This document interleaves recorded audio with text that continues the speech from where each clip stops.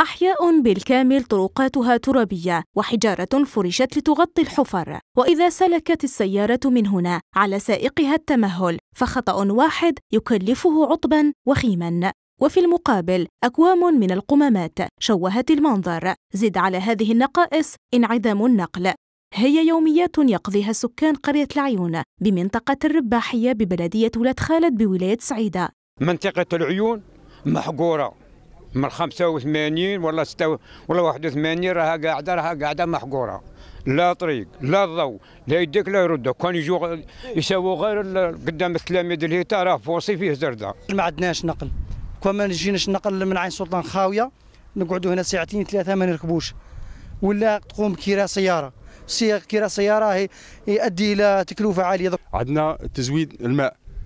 السكان الخزان الماء ما يكفيش القرية. نص يشربوا ونص ما يشربوش. فوق كل هذه النقائص يضطر سكان القرية إلى انتظار الشاحنة الخاصة بجلب غاز البيوتان في ظل حرمانهم من غاز المدينة. قضية الغاز. الغاز راه محطة لا تبعد عن القرية إلا عبارة عن أمتار. فاتصلنا بالجهات الوصية بالبلدية وراسلنا وراسلنا مديرية الطاقة والمناجم ولكن بدون جدوى. إحنا رانا في 2016 والغاز ما عندناش ومعروف باللي هذا القرية منطقة باردة. فنطلب من السلطات المحلية باش تشوف هذا تشوف لنا حل هذا القرية. يوميات القرى الداخلية تتشابه ويتشارك قاطنوها نفس المطالب.